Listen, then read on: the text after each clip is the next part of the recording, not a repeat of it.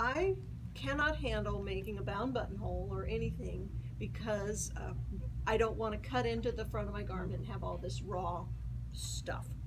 And so this method of making a welt pocket is like my organdy patch method of making a bound buttonhole. And I've actually found an article in Threads Magazine telling you how to do it. And um, it's just basic, simple thing.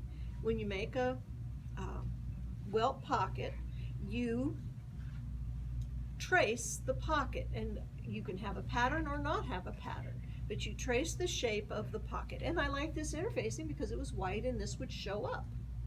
That was my downfall. So anyway you trace your pocket center line all the lines very carefully and then what you want to do is put a pin in each corner and cut a piece of silk organza that is bigger than the space around your buttonhole or your welt pocket.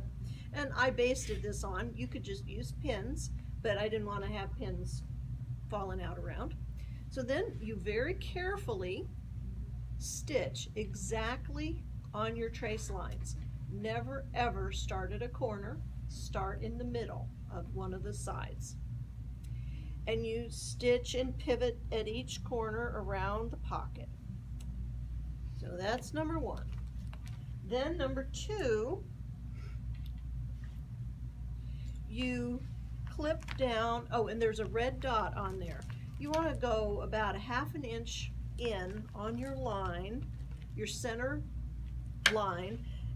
You put a dot about a quarter, half an inch in, that gives you the length of triangle, that gives you something to uh, hold on to. That's why I like the organdy patch method of bound buttonholes and things. It gives you something more to hold on to than these tiny little seam allowances. And then I'm not raveling my fabric. So anyway, you go ahead and you cut your pocket down the line, leaving your triangle. Then you turn your or organdy to the inside and press. And you have a very nice faced opening.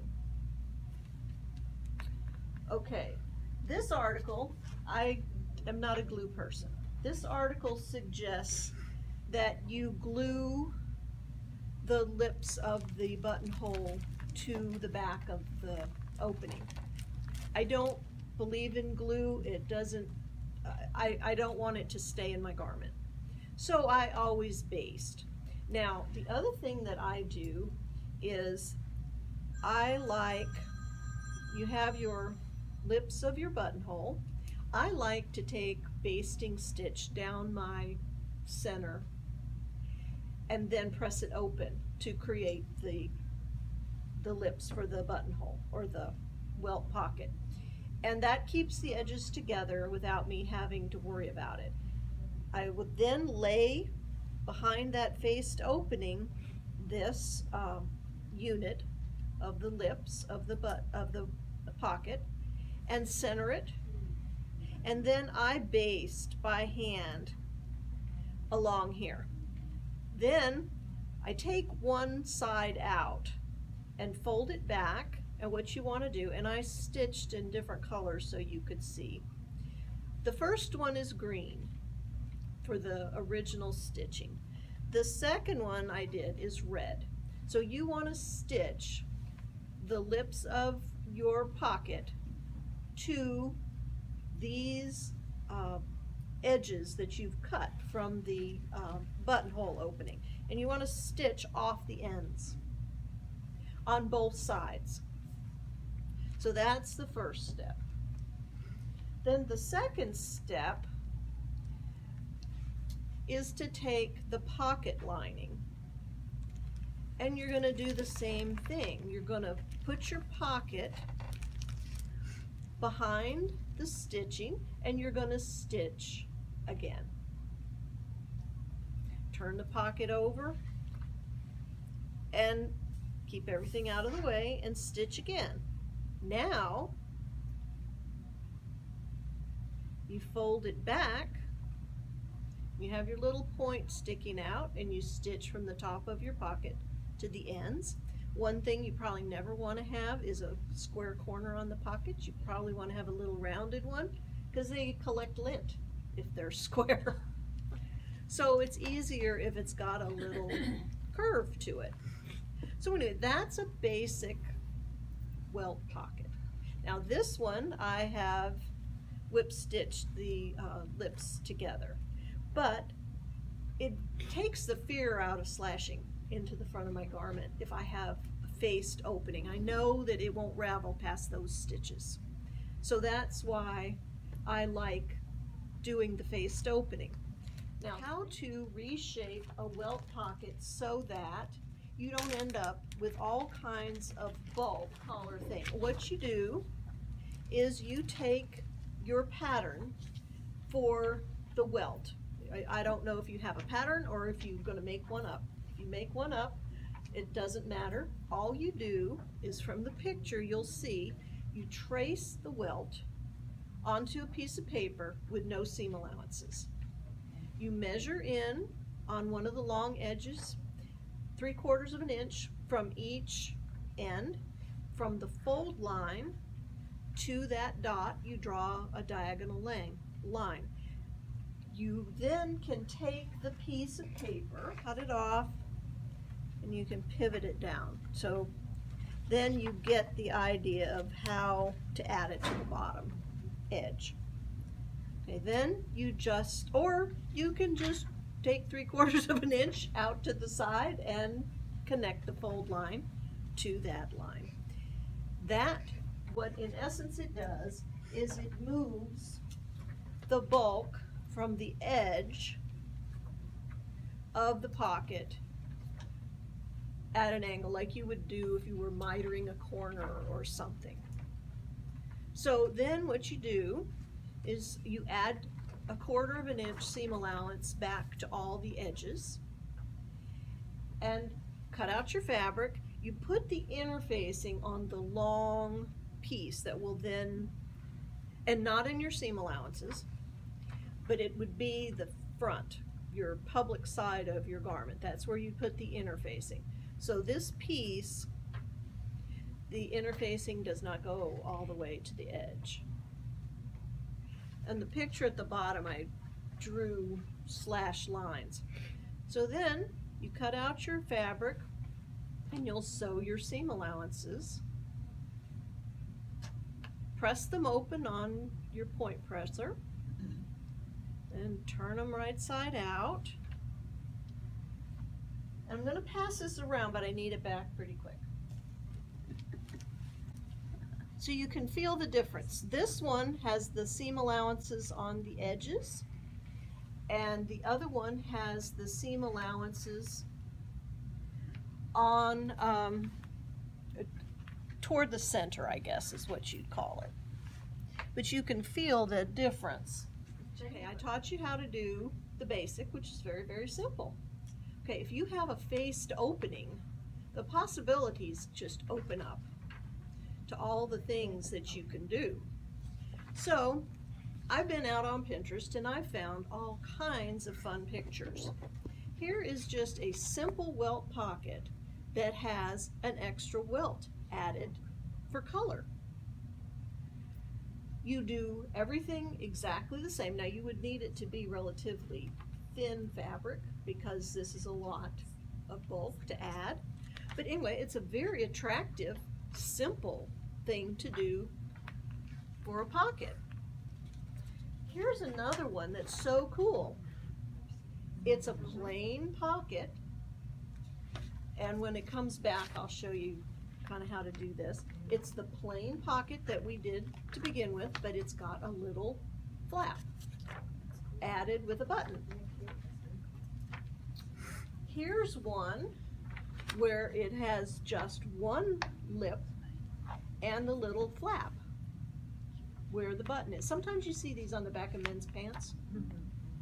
If you were going to do a pocket like this, you've got to think this possibly could show pocket lining.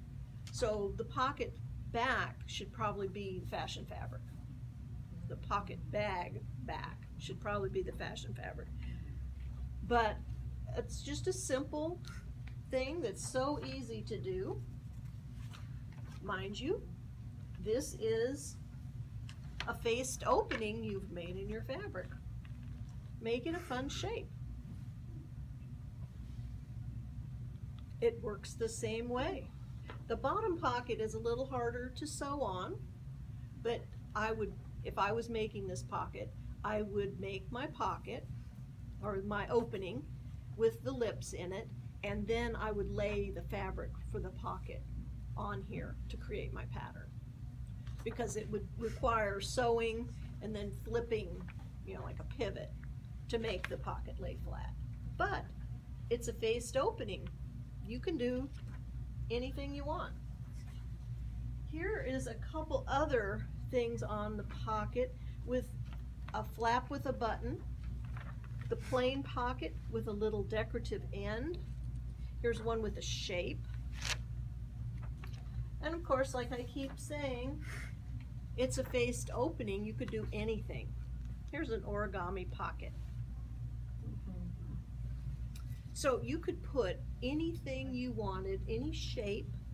I also saw one that was a triangle, like a big triangular bound buttonhole.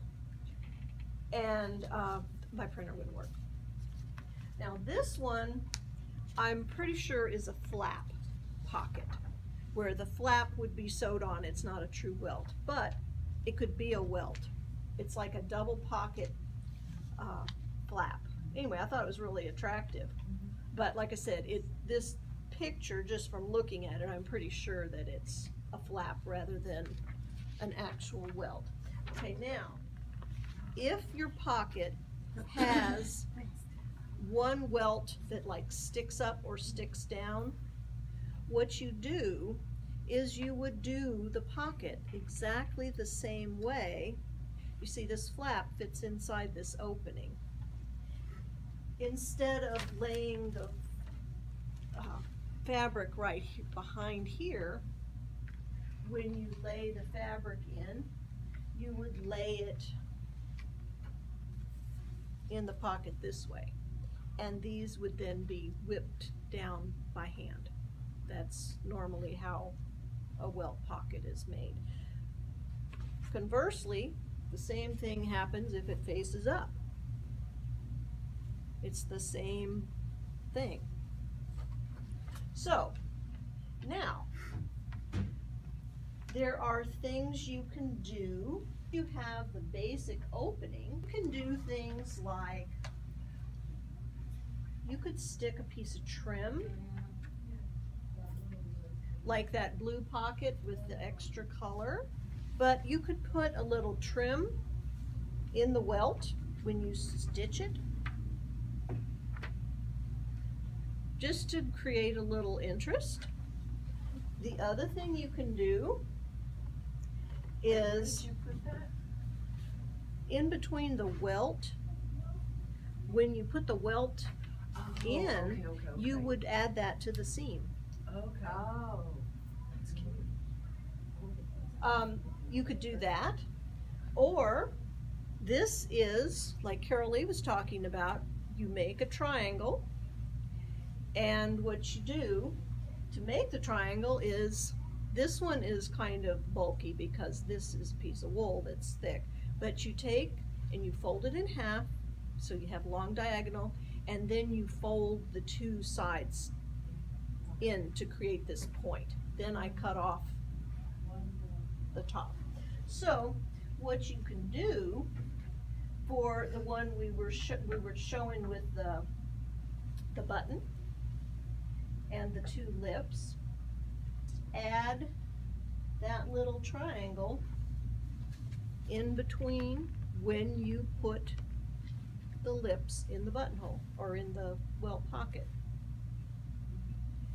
And uh, then you would sew, you do the back the same way every time.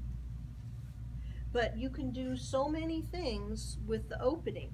The See how I did buttonhole is so easy when it's a faced opening. So, well, one of the pictures I showed you is these guys are giving me some grief, moving around. Take a little piece of leather or something and make a triangle to the end of your pocket. And it also would reinforce the pocket. So anyway, but there are so many possibilities for a buttonhole once you think of it as a faced opening. You know, because we all get concerned that it's, oh, it's a big welt pocket. But, you know, welt pocket is just a faced opening. If you have a faced opening, you can do anything.